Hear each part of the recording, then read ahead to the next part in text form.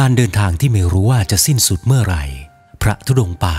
เดินทางมาแล้วรอบประเทศ จากคุ้นเขาสู่ป่าไม้ จากป่าสู่หมู่บ้าน สู่ทุ่งนา บนบ่าข้างหนึ่งแบกกรดบ่าอีกข้างสะพายบาท เดินจาริกธุดงแรมรอน อยู่แถบภูเขาลบบุรี จากอำเภอบ้านมีเข้าสู่อำเภอโคกสำโรง และเลยเข้ามาถึงอำเภอชัยบาดาล ผ่านไร่สวนไร่มัน ไร่ข้าวโพดของชาวบ้าน บางวันต้องเดินผ่านลัดเลาะตามทุ่งนาผ่าแดดที่ร้อนผาดในยามแรง แสงแดดที่ร้อนอบอ้าว เปรียบเสมือนการปฏิบัติธรรมกรรมฐาน เผาผลาญกิเลส เพราะกิเลสมันชอบความสบาย เมื่อมันชอบความสบาย ก็พามันมาลำบากเสีย ใช้สติที่ตั้งมั่นกำหนดดูลมหายใจทุกฝีก้าวนิยายทำเรื่องเล่า เรื่องราวของหลวงปู่วิมโลยานสัมพันโน ที่นำชีวประวัติของท่าน มาผสมผสานกับนิยายธรรม เพื่อเป็นประโยชน์แก่ท่านผู้ชมและท่านผู้ฟัง ได้ทั้งกติธรรม ได้ทั้งความบันเทิง และรู้เรื่องราวชีวประวัติของท่าน ได้ข้อคิดคติธรรมนำไปประยุกต์ใช้ในชีวิตประจำวัน เพื่อชีวิตที่ร่มเย็นและเป็นสุข พระธุดงค์ในวัย 40กว่ากว่า เดินมุ่งหน้าขึ้นเขาปลายปีนไปกับโขดหินและป่าไผ่ แสวงหาเถื่อนถ้ำและโคลนต้นไม้ใหญ่ เพื่อปลีกวิเวก สงัดแก่ผู้คน หลีกพ้นความวุ่นวายในสังคม หามุมสงบสงัดให้แก่จิตใจ เพื่อปฏิบัติธรรมกรรมฐาน พัฒนาจิตใจให้เข้าสู่มรรคสู่ผล ปรารถนาอย่างเดียวคือการหลุดพ้นจากวัฏสงสาร พระธุดงค์หนุ่มผู้เห็นภัยจากวัฏฏะนี้ มีจุดหมายปลายทางของชีวิตเป็นหนึ่งเดียว นั่นก็คือ นิพพาน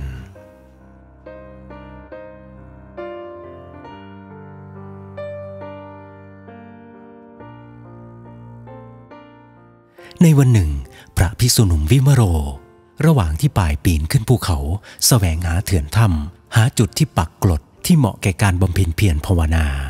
ระหว่างที่ป่ายปีนไปกับโขดหิน ผ่านป่าไผ่ผ่านต้นไม้ใหญ่บนภูเขาแห่งนั้น สายตาก็พลันมองเห็นพระพิสุแก่รูปหนึ่ง เดินขึ้นภูเขานำหน้าไป ห่างจากตนไปไม่ไกลนัก แต่ก็มองเห็นพระแก่รูปนั้นบ้างเป็นบางครั้ง เพราะป่าไม้บัง พระธุดงค์หนุ่มพยายามจะสาวเท้าก้าวให้ทัน แต่ก็ดูเหมือนพระแก่รูปนั้น เดินขึ้นเขาอย่างคล่องแคล่วว่องไวมาก พระหนุ่มแม้จะอยู่ในวัยชะกัน พยายามสาวเท้าให้ทัน แต่ก็ไปไม่ถึงพระแก่รูปนั้นสักทีพอเหนื่อยก็หยุดพัก พอหยุดพักพระแก่รูปนั้นก็หันมามอง แล้วก็ส่งยิ้มให้ จะร้องให้พระแก่รูปนั้นรอ ก็ร้องไม่ไหว ไม่มีเสียงเบ่งออกมาจากท้อง เพราะอาการเหนื่อยหอบที่ปีนเขาไล่ตามพระแก่รูปนั้น เมื่อไล่ตามไม่ทัน เวลาก็ใกล้จะมืดค่ำพระหนุ่มเลยตัดสินใจปรากฏอยู่ตรงนั้นระหว่างทาง ไม่เดินไล่ตามพระธุดงค์แก่รูปนั้นไปอีก พระธุดงค์หนุ่มได้โขดหินขนาดใหญ่เป็นที่กำบัง ได้รากไม้ที่มันเกิดอยู่กับโขดหินนั้นเป็นที่ผูกกลด ก็ถือว่าพระหนุ่มได้สถานที่ที่เหมาะพอสมควร ด้านหน้าที่ปรากฏนั้น เป็นพลานหินที่กว้างใหญ่ เป็นแผ่นหินที่ราบเรียบและเป็นทางยาว เหมาะแก่การเดินจงกรมเป็นอย่างยิ่ง กลางคืนก็จะมีแสงจันทร์ เดือนหงายเต็มดวง สาดส่องแสงลงมา เหมาะแก่การภาวนาเป็นอย่างยิ่ง สายลมที่โชยมาในยามค่ำคืน เย็นสบายไปถึงจิตถึงใจ ตั้งแต่ช่วงหัวค่ำเดินไล่ตามพระธุดงแก่รูปนั้นไม่ทัน ก็เก็บมาคิดว่าทำไมพระชลารูปนั้นถึงไม่รอตัวเอง ทั้งๆทที่เป็นพระป่าเหมือนกัน เดินธุดงมาเจอเจอกันอยู่ในป่า ก็น่าจะมาสนทนาเจรจากันบ้างสักนิด แต่นี่กลับเดินหนีไปเฉยๆพอเราหยุดก็ยังหันหน้ามายิ้มให้อีก ในเมื่อไม่รอก็ไม่ขอไปด้วย พระหนุ่มตัดใจจากความคิดนั้น หันหน้ามาใส่การปฏิบัติธรรมกรรมฐานของตัวเอง โดยไม่ใส่ใจว่าจะมีพระแก่พระหนุ่มมาปักกรดในบริเวณภูเขาแห่งนี้ คงมีแต่เรารูปเดียวเท่านั้นที่ปรากฏอยู่ในสถานที่แห่งนี้ ในคืนนั้น พระหนุ่มก็ปฏิบัติธรรมกรรมฐานตามปกติ อย่างที่เคยทำทำมาทุกครั้ง ระหว่างที่เดินจงกรมอยู่นั้น แสงดวงจันทร์ในคืนวันเพ็ญที่สาดส่องลงมา ก็พอมองเห็นบรรยากาศโดยรอบ ข้างทางจงกรม ภิกษุหนุ่มได้มองเห็นงูใหญ่ตัวหนึ่ง มันกำลังจะเลื้อยข้ามทางจงกรมไป แสงดวงจันทร์ที่สาดส่องลงมาปะทะกับเกล็ดงูตัวนั้น มองเห็นเป็นมันวาวระยิบระยับ มันเคลื่อนตัวผ่านไปอย่างช้าๆพอเห็นเช่นนั้น ภิกษุหนุ่มจึงหยุดเดินจงกรมชั่วคราว ยืนอยู่ห่างจากมันประมาณสักวาสองวาเศษ พอเห็นภิกษุหนุ่มหยุดเดินจงกรม เจ้างูตัวนั้นมันก็หยุดเลื้อยเช่นกัน แทนที่มันจะรีบเลื้อยไป มันกลับหยุดอยู่ขวางทางจงกรมอยู่อย่างนั้น เมื่อเห็นมันไม่ไปไหน พระหนุ่มจึงเอ่ยปากพูดกับมันว่า พี่ชาย ถ้าจะหยุดขวางทางกันอยู่แบบนี้ พระก็ไม่ได้ปฏิบัติธรรมกรรมฐานกันพอดี พี่ชายเลื้อยออกจากทางจงกรมก่อน พอภิกษุหนุ่มพูดจบ แทนที่งูตัวนั้นมันจะเลื้อยออกจากทางจงกรมมันกลับพงกหัวยกหัวขึ้น ตอนนี้รู้ได้เลยว่า งูตัวใหญ่ที่อยู่ข้างหน้านี้ มันคืองูจงอางใหญ่ ที่กำลังแผ่แม่เบี้ย ชูคอขู่ฟ่อๆอยู่ ภิกษุหนุ่มก็ไม่ได้ตกใจกลัวอะไร ได้แต่ยืนมองดูงูตัวนั้นอยู่อย่างนั้น เมื่อไล่ก็ไม่หนี จะตีก็ไม่ได้ ภิกษุหนุ่มจึงตัดสินใจปฏิบัติธรรมกรรมฐานในอิริยาบถยืน ไม่แยแสอะไรกับสิ่งที่อยู่ตรงหน้า ยืนนิ่งสงบอยู่อย่างนั้น จนจิตใจดิ่งเข้าสู่สมาธิขั้นลึก จิตใจชุ่มแช่อยู่กับความสงบว่างเปล่าอายตนะทั้งหกถูกปิดตัวลง ไม่รับรู้กับเรื่องราวภายนอก สภาวะจิตราวกับว่าไม่มีตัวมีตนอยู่เลย หาตัวตนไม่เจอ หาแขนหาขา หาหูหาตาก็ไม่เจอ แล้วสักพักจิตมันก็บอกว่า นี่คือสภาวะแยกรูปแยกนาม นามคือจิต รูปคือกาย ทั้งสองอย่างถูกแยกออกจากกัน จึงไม่มีความรู้สึกซึ่งกันและกัน รู้อย่างเดียวคือความสงบว่างเปล่า รูปคือกายที่ประกอบไปด้วยธาตุทั้งสี่อันได้แก่ ดิน น้ำลมไฟ เมื่อจิตไม่ได้ยึดติดอยู่กับกาย จึงไม่มีความรู้สึกใด ๆ เป็นอยู่อย่างนั้นจนเกือบสว่าง พอใกล้จะสว่าง จิตก็เริ่มเคลื่อนเข้าสู่กาย ความรู้สึกต่างๆ ก็เริ่มกลับมา ว่าทุกอย่างจะเข้าที่ได้ ฟ้าก็แจ้งสว่างพอดี พอลืมตาออกจากสมาธิ ก็ปรากฏว่า งูใหญ่ตัวนั้นมันได้หายไปแล้ว ความสุขที่ไม่เคยสัมผัสมาก่อน มันเป็นความสุขที่เยือกเย็น สุขขุมนุ่มรึกอยู่ภายในจิตในใจ มองไปทางไหนก็มีแต่ความสุข สุขที่ไม่เคยสัมผัสมาก่อน เป็นสุขที่แนบแน่นอยู่ในจิตในใจ ตอนแรกก็แอบคิดว่า ป่านนี้คงเป็นเหยื่อของงูตัวใหญ่ตัวนั้นไปแล้ว เมื่อแสงแดดเริ่มสาดส่องเข้ามา มองเห็นใบไม้เป็นสีเขียว ภิกษุหนุ่มก็ได้เวลาเตรียมตัวออกบินทบาทซึ่งจะลงไปบินทบาทที่หมู่บ้านที่อยู่ตีนเขานั้น อยู่ห่างจากที่ปักกรดไปประมาณ 5-6 กิโลเมตร ระยะทางก็ถือว่าไกลพอสมควร กว่าจะเดินไปถึงนั้นก็คงจะสายพอดี ภิกษุหนุ่มจึงต้องรีบเดิน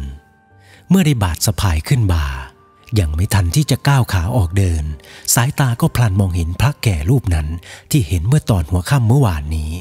กำลังเดินอุ้มบาทลงมาจากเขา เดินตรงลงมาหาภิกษุหนุ่ม สายตามองลงมา มีรอยยิ้มบ้างนิดหน่อย เหมือนบอกความไหนว่าจะออกไปบินทบาทด้วย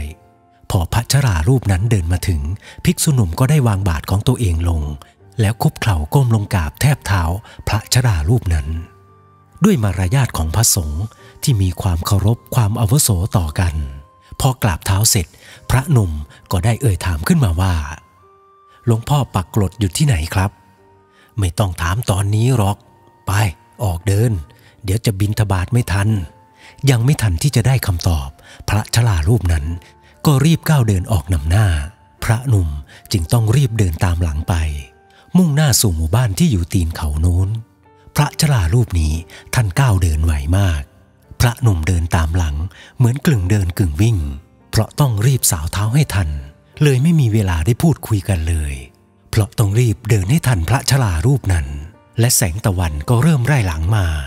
ถ้าหากว่าเดินไปถึงหมู่บ้านสายแล้ว ชาวบ้านที่มารอใส่บาตรกับพระสงฆ์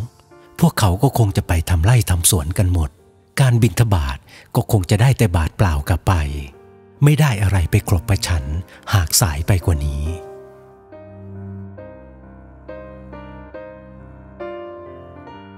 หลังจากที่บินทบาทเสร็จก็ได้ข้าวมาบ้างนิดหน่อย เพราะทั้งสองเดินไปถึงหมู่บ้านเกือบสาย ชาวบ้านก็แยกย้ายกันไปหมด เหลือเพียงคนเฒ่าคนแก่ที่อยู่ท้ายหมู่บ้าน ที่ได้นำข้าวสวยมาใส่บาตรให้พระธุดงทั้งสอง ยายแก่คนนั้นได้ถามกับพระพิสุหนุ่มว่า พระหนุ่มทั้งสอง พากันเดินทางมาจากไหนกันเจ้าคะ ภิกษุหนุ่มผู้เดินตามหลังจึงตอบกับยายคนนั้นว่า จาริกทุดงมาเรื่อยๆแหละครับโยมยาย ตอนนี้พักปักกลดอยู่ที่บนยอดเขานู้น พอพูดจบ พระธุดงทั้งสองก็เดินจากมา มุ่งหน้าสู่ที่ปักกลดของตัวเองที่อยู่บนยอดเขานั้น ระหว่างที่เดินมาตามทาง ภิกษุหนุ่มรู้สึกแปลกใจกับคำถามที่ยายคนนั้นถามทำไมยายคนนั้นถึงพูดว่าพระหนุ่มทั้งสอง ทั้งๆทที่พระรูปที่เดินนำหน้านั้นเป็นพระชรา อายุก็ 70-80 เห็นจะได้ แต่ยายคนนั้นทำไมถึงเรียกว่าพระหนุ่ม ความสงสัยนี้ยังไม่คลี่คลายออกจากจิตจากใจ อยากจะเอ่ยถามกับพระชราที่เดินนำหน้า แต่ก็ไม่มีโอกาสได้ซักถามกัน เพราะท่านเดินเร็วมาก เดินจนพระหนุ่มตามไม่ทัน ยิ่งตอนเดินขึ้นเขา พระชรารูปนั้น เดินขึ้นเขาอย่างคล่องแคล่วราวกับว่าเป็นพระพิสูหนุ่ม อายุประมาณ 20 ต้นๆเท่านั้น เรี่ยวแรงท่านมาจากไหนทำไมท่านเดินเร็วยิ่งนัก เมื่อพระพิสูหนุ่มเดินขึ้นเขา เดินตามพระชรารูปนั้นไม่ทัน ก็ทิ้งระยะห่างกัน จนลับสายตา เมื่อกลับมาถึงยังที่ปักกรดภิกษุหนุ่มก็ดำริอยู่ภายในใจว่า ฉันข้าวเช้าเสร็จจะขึ้นบนเขาไปตามหาท่าน ไปหาพระชรารูปนั้น ว่าท่านปรากฏอยู่ที่ไหน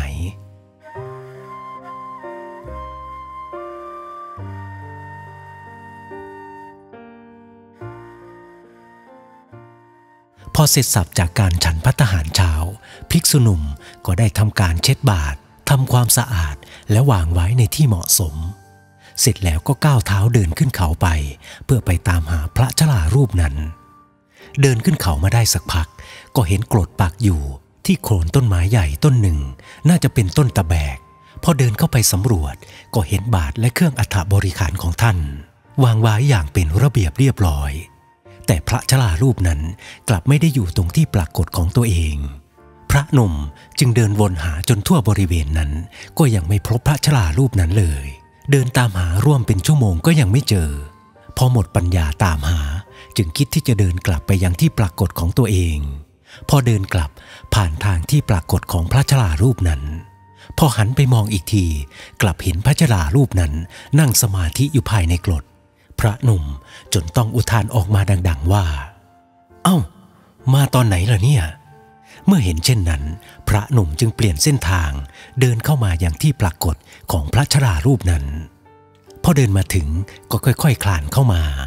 แล้วก็มากราบท่านสามครั้ง พระชรารูปนั้นยังคงนั่งหลับตาอยู่ พระหนุ่มจึงไม่กล้าเรียกท่าน ได้แต่นั่งรอเฝ้าอยู่อย่างนั้น พระชรารูปนั้นก็ยังไม่ลืมตาออกมา เวลาล่วงเลยจนถึงเที่ยง จนล่วงเลยเข้าสู่บ่าย พระชรารูปนั้นก็ยังไม่ลืมตาออกจากสมาธิ ถ้าจะปลุกท่านให้ตื่นลืมตาออกมาคุยกัน ก็ผิดวิสัยของพระธุดงค์พระหนุ่มเมื่อหมดหนทางที่จะเจรจาและสนทนาด้วย จึงตัดใจที่จะนั่งรอเฝ้าอยู่ตรงนั้น ลุกขึ้นเดินกลับมาอย่างที่ปรากฏของตัวเองคิดว่าเจอกันพรุ่งนี้เช้าตอนออกไปบิณฑบาตค่อยถามกันก็ได้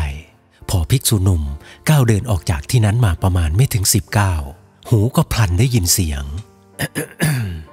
พอหันหลังกลับมาดู ก็ปรากฏว่า พระชลารูปนั้นท่านได้ขยับตัวและตื่นลืมตาแล้ว พระหนุ่มจึงเดินกลับไปกราบท่านอีกครั้งนมัสการหลวงพ่อมาจากไหนครับ แล้วเธอล่ะ มาจากไหน เสียงตอบนั้นดังกังวานไพเราะสนอหู แค่ได้ยินก็ขนลุกสู้ไปทั่วสะพลางกาย ภิกษุนุ่มจึงตอบพระชลารูปนั้นไปว่า ผมจาริกทุดงมาจากทางภาคใต้ครับหลวงพ่อ แล้วหลวงพ่อมาจากวัดไหนครับ ไม่มีวัด ไม่มีที่ไปที่มา หยุดแล้วเรื่องอาศัยวัด ภิกษุนุ่มผู้มีประสบการณ์การเดินจาริกทุดงมาแล้วมากมาย และเข้าใจในสัจธรรม จึงเข้าใจในคำพูดในคำพูดของพระชรารูปนั้นที่พูดมา ที่ท่านพูดว่า หยุดแล้วอาศัยวัด พระธุดงหนุ่มเข้าใจทันทีได้เลยว่า นี่คือปริศนาธรรม วัดณที่นี้ไม่ใช่วัดวาอารามที่มีพระสงฆ์จำวัดอยู่ วัดนี้คือวัดตะ วัดตะแห่งสงสาร ที่พวกเรายังเวียนว่ายตายเกิดกัน ความหมายของพระชลารูปนั้น คือท่านไม่ได้เวียนว่ายตายเกิดในวัฏสงสารนี้อีกแล้ว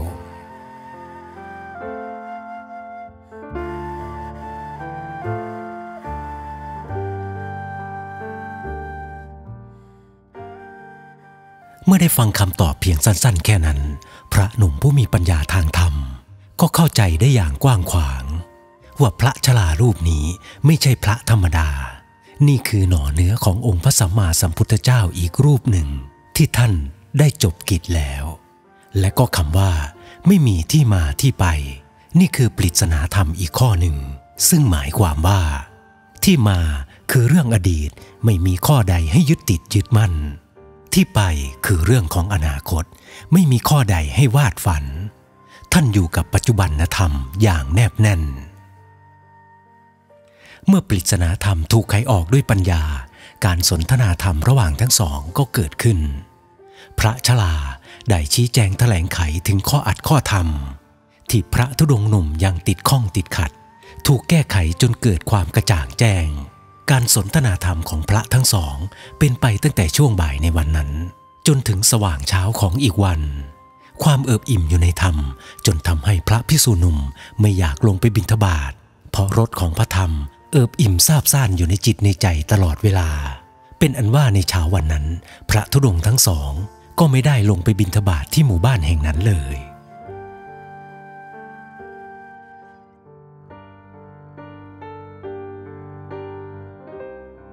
ถึงแม้การสดับรับฟังในการฟังธรรมะ และเข้าใจในข้ออัดข้อธรรม อย่างมากมายล้นผลก็ตาม แต่มันก็ยังเป็นสัญญาความจำจำต้องปฏิบัติธรรมกรรมฐาน บำเพ็ญเพียรภาวนาพาจิตใจให้เข้าสู่การหลุดพ้นกำจัดกิเลสตัณหาอย่างละเอียดที่นอนเนื่องอยู่ในจิตใจ แม้จะเบาบางไปมากพอแล้ว แต่ก็ต้องขจัดให้หมดจดจนใสสะอาด เมื่อฟังธรรมเสร็จแล้ว พระธุดงหนุ่มได้ขอปลีกตัวออกจากพระชลามาอย่างที่ปรากฏของตัวเอง เพื่อปฏิบัติธรรมกรรมฐานต่อไป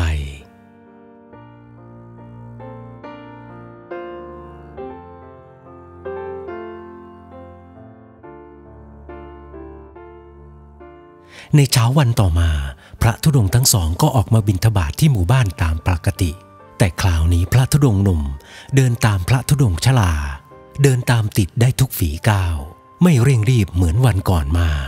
ทุกย่างก้าวก้าวเดินไปอย่างนุ่มนวลเปรียบเสมือนการเดินตามรอยธรรม ที่พระอาวุโสเดินย่ำบนทางบริสุทธิ์ เดินนำหน้าฝากรอยธรรม ให้ผู้เดินตามหลังได้ย่ำตาม ในเช้าวันนี้พระธุดงทั้งสองเดินมาถึงหมู่บ้านตั้งแต่เช้า ชาวบ้านที่มารอใส่บาตรก็อยู่กันครบทุกท่วนหน้า ชาวบ้านทั้งหลายจะรู้ไม่ว่า ที่ท่านพากันมาใส่บาตรนั้น ท่านกำลังใส่บาตรให้พระอริยสงฆ์ผู้บริสุทธิ์ผุดผ่อง ดับได้แล้วซึ่งกิเลสตัณหา พระชลาที่เดินนำหน้า คือพระที่หลุดแล้วซึ่งวัฏฏะสงสาร ไม่เวียนตายเวียนเกิดเหมือนอย่างพวกท่านอีกแล้ว สิ่งที่เหลือที่มองเห็นคือการดำรงร่างกายสังขาร เพื่อเป็นประโยชน์แก่สัตว์โลกนำพระธรรมคำสั่งสอนของพระตถาคต มาโปรยปลายหวานเมล็ดธรรม ให้สัตว์โลกผู้ปรารถนาการหลุดพ้นได้เก็บเกี่ยวเมล็ดผลของธรรมนำความสุขสันติมาสู่สรรพสัตว์ผู้ใดมีธรรม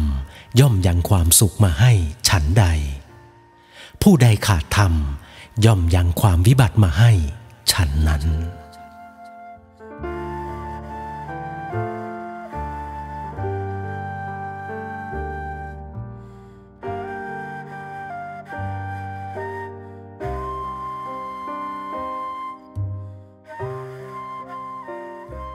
หลังจากเสร็จกิจจากบินทบาทในหมู่บ้าน พระธุดงทั้งสองก็กลับขึ้นไปบนภูเขา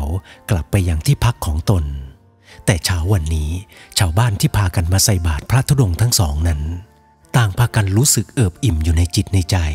มีความสุขซาบซ่านอย่างบอกไม่ถูก และไม่รู้สาเหตุว่าเป็นเพราะอะไร บางคนเกิดปิติจนน้ำตาไหลโดยไม่รู้ตัว ต่างคนต่างก็หาสาเหตุที่มันเกิดขึ้นไม่ได้ ทุกคน มีหน้าตายิ้มแย้มแจ่มใสให้กันและกัน อุณหภูมิภายในหมู่บ้าน มีแต่ความอบอุ่นจากใจสู่ใจให้กัน ชาวบ้านเหล่านั้นเขาไม่รู้หรอกว่า นี่คืออำนาจแห่งพระธรรมที่เข้าครอบงำจิตใจ แผ่ซ่านกระแสให้จิตใจของปุถุชนคนธรรมดา ได้สัมผัสถึงบารมีธรรมของพระชลารูปนั้น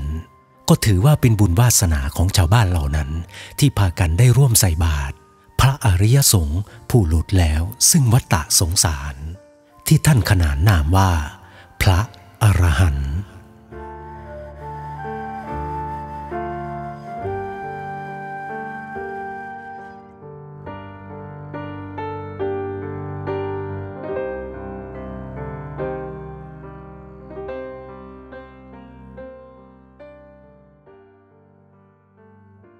ข่าวข่าว รื่องราวของพระธุดงค์ทั้งสอง ที่พากันมาพักปรากฏอยู่บนยอดเขาแห่งนั้น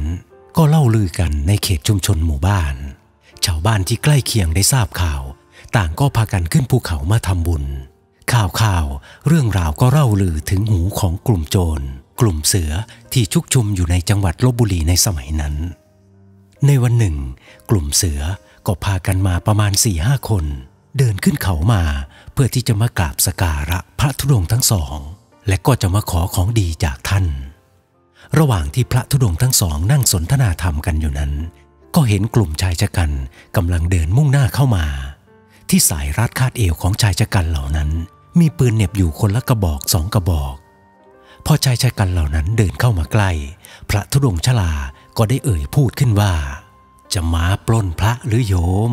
เปล่าครับหลวงตาพวกผมจะมาขอของดีจากหลวงตาครับ จะมาขอของดีจากพระทำไมถึงพกของมีคมมาด้วย มันจะต่างอะไรไปจากมาปล้นละโยม เออครับครับครับหลวงตา ผู้เป็นหัวหน้า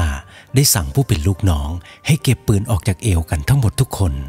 แล้วสั่งให้ลูกน้องผู้เก็บปืนคนนั้น ออกไปยืนรออยู่ไกลๆเสร็จแล้วผู้เป็นหัวหน้าและลูกน้องที่เหลือ ก็พากันคลานเข้ามากราบ จะเอาไปทำไมละโยมของดี เออพวกผมต้องการจะไว้ไปป้องกันตัวครับ พวกโยมเป็นเสือ มาขอของดีจากพระแล้วออกไปปล้น มันจะไม่ขัดกันนักหรือ เออเออ พระไม่เคยสนับสนุนให้ใครทำบาปทำกรรมนะโยม แต่พวกผมก็อยากได้ติดตัวไว้คนละอันสองอันนะครับ อัตมามีของดีอย่างเดียวเพียงข้ออัดข้อทำเท่านั้น พวกโยมอยากฟังไหมล่ะ พวกผมอุตส่าห์ดันด้นมา อยากได้ของดีจากท่านครับ พวกผมไม่ได้มาเพื่อฟังธรรมครับ อัตมาไม่มีของดีหรอก งั้นกลับไปเถอะ ผู้เป็นหัวหน้ารู้สึกหน้าชาไปซีกหนึ่ง เพราะพวกตัวเองโดนไล่ ยังไม่เคยมีใครมากล้าไล่พวกตนเลยสักครั้ง ด้วยความมีมานะทิฏฐิของความเป็นเสือ จึงรู้สึกเคืองพระธุดงทั้งสองรูปนี้ ถึงแม้จะเป็นเสือเป็นโจร แต่ความเป็นคนก็ยังหลงเหลืออยู่ จึงไม่กล้าที่จะทำอะไรกับพระสงฆ์ได้แต่พาลูกน้องของตัวเองเดินกลับลงภูเขาไปด้วยความผิดหวัง ในวันหนึ่ง ขณะที่พระธุดงทั้งสอง เดินลงจากเขาไปบิณฑบาตในหมู่บ้านในยามเช้า เหตุการณ์ที่ไม่คาดฝันก็เกิดขึ้น ขณะที่ทั้งสองเดินลงเขาอยู่นั้น ในช่วงตอนกลางคืนที่ผ่านมา มีฝนโปรยปลายลงมาบ้าง จึงทำให้พื้นดินเฉอะแฉะ การเดินลงจากเขาก็ยากลำบาก เพราะทางลงมันลื่นมาก พระชลาผู้เดินนำหน้า เดินลงจากเขาอย่างรวดเร็ว พื้นก็รื่นจึงทำให้ขาของพระชลานั้นไปสะดุดกับก้อนหิน จนทำให้ท่านหกเขมนไปข้างหน้า ศีรษะฟาดกับโขดหินอย่างจัง พระชลาล้มฟุบอยู่กับก้อนหินก้อนใหญ่ก้อนนั้น สภาพของท่านเลือดไหลอาบเต็มศีรษะ นอนแน่นิ่งไม่ไหวติงพระธุดงค์หนุ่มที่เดินตามหลังท่านมาคว้าท่านไว้ไม่ทัน ท่านจึงล้มหัวฟาดพื้นอย่างแรง พระธุดงค์หนุ่มได้แบกท่านขึ้นมาอย่างที่ปรากฏของตัวเอง เพื่อที่จะช่วยซับเลือดที่ไหลอาบอยู่เต็มหน้า รอให้ท่านตื่นลืมตาก็ไม่เห็นตื่นขึ้นมาสักที พระธุดงค์หนุ่มจึงเอามือไปแตะที่ปลายจมูกของท่านดู ก็ปรากฏว่าท่านไม่มีลมหายใจแล้ว เมื่อเห็นพระผู้อาวุโสเปรียบประดุดดัง ครูบาอาจารย์อีกท่านหนึ่ง สิ้นใจต่อหน้าต่อตา ความเสียใจ ความเศร้า ความทุกข์ความโศกกำลังจะยกกองทัพเข้ามา เข้าโจมตีจิตใจของพระธุดงค์หนุ่ม ความคิดก็เริ่มจะปรุงแต่งไปในทางที่ใจเสีย ท่านใดนั้น สติก็รู้ตื่นขึ้นมา ปิดกั้นทางความเศร้าโศกเสียใจ ความทุกข์ทมนัสร้องไห้ไม่ให้เข้าถึงข้างในจิตใจ เมื่อรู้ทันกิเลสก็ดับมันลงได้ สิ่งที่เกิดขึ้นอยู่ตรงหน้า เป็นเพียงแค่สักแต่ว่ารู้เท่านั้น ความเสียใจ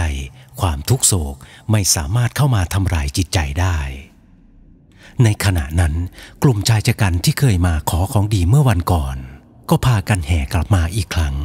ความหวังก็คือพยายามจะมาขอของดีจากพระธุดงค์พอชายชะกันเหล่านั้นเดินมาถึง ก็เดินมาเห็นพระชลานอนตายแน่นิ่งอยู่ รอยเลือดที่เคยอาบหน้า ตอนนี้เริ่มแห้งเป็นเกล็ด เมื่อเห็นเช่นนั้น ชายผู้เป็นหัวหน้าจึงเอ่ยถามกับพระธุดงค์หนุ่มว่า ท่านเป็นอะไรตายล่ะหลวงพี่ พระธุดงค์หนุ่มก็ตอบไปตามความจริงว่า ท่านสะดุดล้มเมื่อเช้านี่นะโยม ตอนที่จะลงไปบินทบาทพอได้ยินคำว่า สะดุดล้มเท่านั้น ผู้เป็นหัวหน้าโจรก็หัวเราะขึ้นมาอย่างดัง กูนึกว่า จะเป็นพระวิเศษวิโสมาจากไหน ที่แท้ก็พระธรรมดาธรรมดานี่เองฮู้ไปพวกเรา กลับกลับฮู้เสียเที่ยวจริง ๆ พับพาสิ หลังจากที่พวกโจรพวกนั้นกลับไป พระธุดงค์หนุ่มก็นั่งพิจารณาซากศพอยู่นั้นจนเกือบค่ำถ้าจะลงไปตามชาวบ้านที่หมู่บ้าน มันก็มืดค่ำแล้ว และถ้าจะทิ้งศพท่านไว้แบบนี้ เพื่อลงไปตามชาวบ้าน ก็กลัวสัตว์ป่า จะมาแทะเล็มสรีระสังขารของท่าน จึงต้องก่อกองไฟนั่งเฝ้ากันทั้งคืน คิดภายในใจว่า พรุ่งนี้เช้าจะไม่ลงไปบินทบาทตื่นตอนเช้าก็จะหาด้นฟืนมากองรวมกันเพื่อเป็นกองฟอน ชาวบ้านที่ไม่เห็นพระลงไปบินทบาทพวกเขาคงจะตามขึ้นมาบนเขาแห่งนี้ ก็จะเล่าความจริงให้กับพวกเขาฟัง และช่วยกันทำการชาปนกิจสรีระสังขารของท่าน เมื่อถึงตอนเช้า ภิกษุหนุ่มก็ได้ออกหาด้นฟืนด้นใหญ่ๆมากองรวมกัน เพื่อรอชาวบ้านขึ้นมาช่วยอีกแรง ระหว่างที่หาด้นฟืนอยู่นั้น ก็ไม่ได้สังเกตดูสรีระสังขารของพระชลารูปนั้น จนสายก็ยังไม่เห็นชาวบ้านขึ้นมาสักที ถ้าจะลงไปตามชาวบ้าน ก็ห่วงสรีระสังขารของท่าน เกรงว่าสัตว์ป่าจะมาเห็น พอเก็บด้นฟืนมากองรวมกันได้ประมาณหนึ่งพระหนุ่มจึงเดินกลับมาที่กรดของตัวเอง เพื่อที่จะมานั่งพักเหนื่อย และจะมาดูสรีระสังขารของพระธุดงค์เท่าที่นอนแน่นิ่งอยู่ตรงนั้น พอเดินมาถึงที่ปรากฏ ก็รู้สึกแปลกใจเป็นอย่างมาก ด้วยความที่ไม่สังเกตระหว่างที่ตนเดินหาฟืนอยู่นั้น ก็ปรากฏว่า ร่างของพระชลานั้นได้หายไปแล้ว หายไปไหนก็ไม่รู้ หรือว่าสัตว์ป่ามาลากไป ระหว่างที่ตนกำลังหาฟืนอยู่นั้นภิกษุหนุ่มเดินวนหาจนรอบบริเวณ ก็ยังไม่เห็นล่องรอย จึงตัดสินใจเดินขึ้นเขาไปอีก เพื่อที่จะไปดูตรงที่ปรากฏของท่าน พอเดินขึ้นเขามาได้สักพัก ก็เดินมาถึงที่ปรากฏของพระชลารูปนั้น ภาพที่ปรากฏอยู่ตรงหน้าตอนนี้ เห็นพระชลารูปนั้นยังคงนั่งสมาธินิ่งสงบอยู่ภายในกรดภิกษุหนุ่มยิ้มได้เต็มใบหน้า รู้และเข้าใจทันทีได้เลยว่า เหตุการณ์ที่เกิดขึ้นเมื่อวานนี้ คือภาพลวงตา ที่ท่านแสดงมาเพื่อทดสอบจิตใจ พระธุดงค์หนุ่มเดินเข้าไปกราบพระชลารูปนั้น แล้วก็พูดกับท่านว่า หลวงพ่อครับ เล่นเอาผมใจเสียเลยนะครับ พระชลาได้แต่นั่งอมยิ้มให้พระหนุ่ม แล้วก็พูดขึ้นมาว่า เธอรู้ทันอารมณ์ ช้าไปหน่อย ต้องรู้ทันทีทันใด ดับให้ได้ในตอนนั้น มันต้องทันทุกสถานการณ์พระธุดงค์หนุ่ม ก้มกราบด้วยความนอบน้อมสำนึกในบุญคุณที่ครูบาอาจารย์ท่านสั่งสอน เหตุการณ์ที่เกิดขึ้นเมื่อเช้าวานนี้ เป็นแค่เพียงภาพลวงตาที่ครูบาอาจารย์ ท่านใช้ฤทธิ์เนรมิตขึ้น เพื่อทดสอบจิตใจของพระธุดงค์หนุ่ม ถึงภูมิความรู้ของจิต ว่าจะตามรู้ทันได้รวดเร็วแค่ไหน เมื่อมีแรงกระเพื่อมเข้ามากระทบ ภิกษุหนุ่มก็ได้พิจารณาอยู่ในใจว่า ท่านอาจารย์ก็เล่นแรงเกินไป นึกว่าตายจากกันเสียแล้ว อยู่ร่วมปฏิบัติธรรมด้วยกันมา ก็เป็นเวลาตั้งหลายวัน ชื่อเสียงเรียงนามของท่าน ภิกษุหนุ่มก็ไม่เคยได้รับรู้ แม้จะพยายามถามท่านคำตอบก็ไม่ชัดเจน ก็รู้เท่าที่รู้ว่าท่านคือหลวงปู่ใหญ่ พระสงฆ์ผู้ลึกลับแห่งขุนเขา ที่คอยสั่งสอนพระธุดงที่จาริกธุดงผ่านมา ลูกศิษย์ลูกหาเคยถามหลวงปู่ว่า ใช่หลวงปู่เทพโลกอุดรไหม ก็ได้คำตอบว่า จะว่าใช่ก็ถูก จะว่าไม่ใช่ ก็ถูกเช่นกัน หลวงปู่เคยถามชื่อท่าน ท่านก็ตอบว่า ชื่อเป็นแค่เพียงสมมุติ จะเรียกอย่างไรก็ถูกกันทั้งหมด สิ่งสำคัญคือคำสอนของท่าน ลึกซึ้งถึงธรรม พระธุดงค์หนุ่มหลังจากปฏิบัติธรรมกรรมฐานอยู่กับหลวงปู่ใหญ่เป็นเวลาเกือบแรมเดือน ก็ได้ข้ออัดข้อธรรมอย่างมากมายล้นพ้นหลังจากนั้นท่านก็ได้หายไปอย่างไม่ได้สั่งลากัน ไม่รู้ว่าท่านหายไปไหน และไปเมื่อไหร่ การไปกันมาของท่านดูลึกลับ แต่ถ้าใครได้ประสบพบเจอกับท่าน ได้สัมผัสกับท่านใกล้ ๆ จะรู้สึกได้ถึงบารมีธรรมอันสูงส่ง เมตตาธรรมที่เยือกเย็น บางคนก็บอกว่าเคยเห็นท่านอยู่ที่ถ้ำกัวแดงจังหวัดชัยภูมิ บางคนก็บอกว่า เคยพบท่านอยู่ที่ถ้ำฤาษีสุขโข จังหวัดกาญจนบุรี และอีกหลายสถานที่ที่ท่านได้ปรากฏตัวให้ผู้คนได้พบเห็น ยากเหลือเกินที่ปุตุชนคนอย่างเราๆจะรู้ได้ว่า ท่านไหนคือหลวงปู่ใหญ่ พระโบราณที่ลึกลับ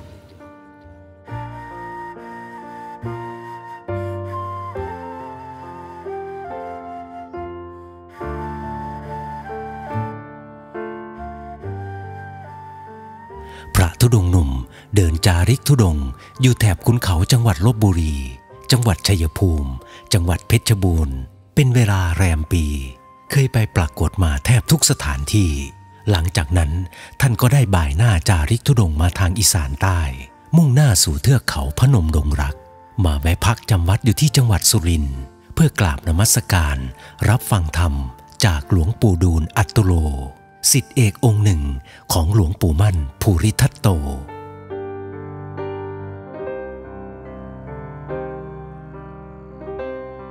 เรื่องเล่าเรื่องราวของการเดินทางของหลวงปู่วิมโลยานสัมปันโน ก็เดินทางมาค่อนเรื่องจนใกล้จะจบ เรื่องราวจะเป็นอย่างไรมาอย่างไรนั้น โปรดติดตามรับชมรับฟังในตอนต่อไปนะครับ แอดมินขอขอบพระคุณทุกท่านที่ติดตามเรื่องราวเรื่องนี้ ใน EP หน้า หลวงปู่ท่านจะเดินทางจาริกธุดงค์ไปที่ไหนต่อ โปรดติดตามรับชมรับฟังได้ ณ ที่นี้ทางช่องยังทรง Channel วันนี้มีเรื่องมาเล่าสำหรับวันนี้แอดมินต้องขอตัวลาไปก่อน ไว้พบกันใหม่ในตอนหน้า สวัสดีครับ